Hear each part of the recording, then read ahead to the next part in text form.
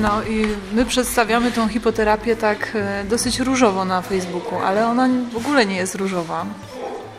Bo wiemy, że każdy się mierzy z, e, no, ze wszystkim. Od tego, od nastroju rodziców, od tych problemów, które przynoszą z domu tutaj na terapię, po problemy z samym dzieckiem, które przychodzi. No, w ogóle jest, jest mnóstwo, mnóstwo różnych zależności. Więc tak, nie, nie jest różowa, Czasami e, też zmagamy się z tym, znaczy zmagamy, jesteśmy postawione ku temu, że jest to terapia rodzinna.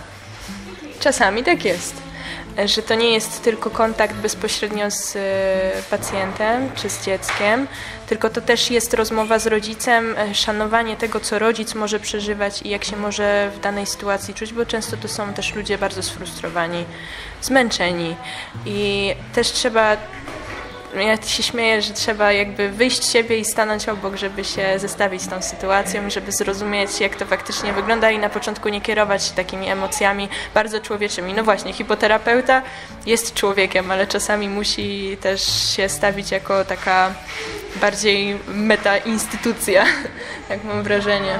Umiejętność odpuszczania. Bym powiedziała, co hipoterapeuta musi umieć, umieć odpuszczać. Bo te zajęcia nie muszą być od A do Z idealne, tak jak sobie założyliśmy za każdym razem. W ogóle. I to też chcę przekazać rodzicom, bo przychodzą tu i mają szereg oczekiwań, a czasami po prostu się nie da.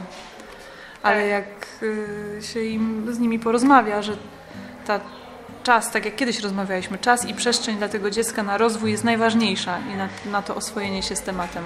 I jak to rodzic też odpuści, da po prostu tak swobodnie, to się dzieją fajne rzeczy. Trzeba też pamiętać, że to jest osoba, która ma swoją osobowość, ma swój temperament i ma swoje emocje, więc nie można wszystkich generalizować do jednego worka, powiem brzydko, tylko no, trzeba też poznać każdego, tak jak normalnie człowieka na ulicy czy w tramwaju, to trzeba poznać, jak ta osoba reaguje, co sprawia jej szczęście, co sprawia jej smutek, y, jakie są rzeczy, których się boi. To też zajmuje dużo czasu w większości przypadków, czasami no nie, ale też trzeba właśnie zachowywać taką ostrożność i wrażliwość przy kontakcie z każdą osobą. Mega, od strony poznawczej w ogóle takiej socjalnej, to to jest y, najlepsze narzędzie, jakie znam. Naprawdę, to jak to się dobrze poprowadzi jeszcze w tym fajnym miejscu, w którym jesteśmy, my jesteśmy w takim miejscu, gdzie ciągle się coś dzieje i te dzieci też nie są takie wyizolowane, tylko one widzą, że aha, one mogą być częścią tego całego tortu, który tutaj jest. Tu inne dzieciaki przychodzą, biorą udział w półkoloniach, w jakichś innych warsztatach, tu ciągle są jakieś zawody, jakieś imprezy, a te dzieci nam się miksują z tymi zdrowymi dziećmi i robią to samo. Siedzą w barze, jedzą pierogi i tak w ogóle to wszystko i to spędzanie czasu tutaj. Jest taka malutka dziewczynka, która tu przychodzi do mnie trzy razy w tygodniu i ona normalnie spędza tu pół dnia. Bo muszą być pierogi, kompocik, głaskanie koni, chodzenie sobie, spacerowanie tutaj. To jest lifestyle po prostu dla niej. No.